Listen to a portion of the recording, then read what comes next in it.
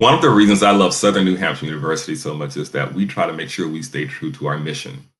Higher education has a lot of functions in any given society, and one of the big parts of that is trying to make sure you understand what your role is in relation to the other institutions that are out there.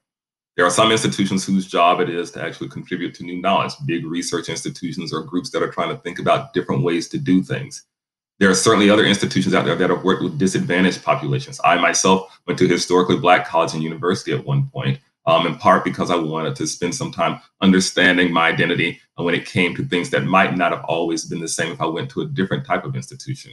This is the same thing that's going to be true for schools that may be all male or all female, schools that may be religiously affiliated or military affiliated. Um, there, those institutions do a great job as well at what they try to do.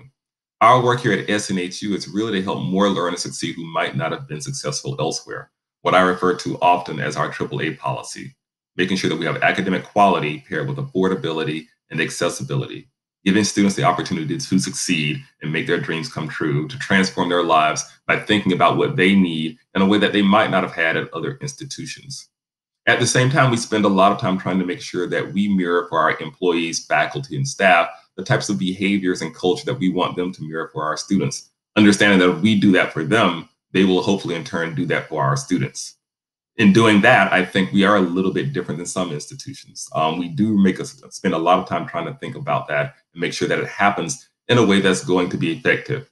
That we think about the feedback that we're getting, that we think about the environments that we're promoting for them to operate in, and that we work together all the time to work as one team. That team mentality is one of the things that higher education is getting better and better at, but still has a long way to go. Our students are actually members of the same team. We are, in fact, all on the learning path together. And being able to understand that and operate with that in mind is an awesome opportunity for all of higher education to do as we move forward, and one that I hope that you will take advantage of as you move forward as well.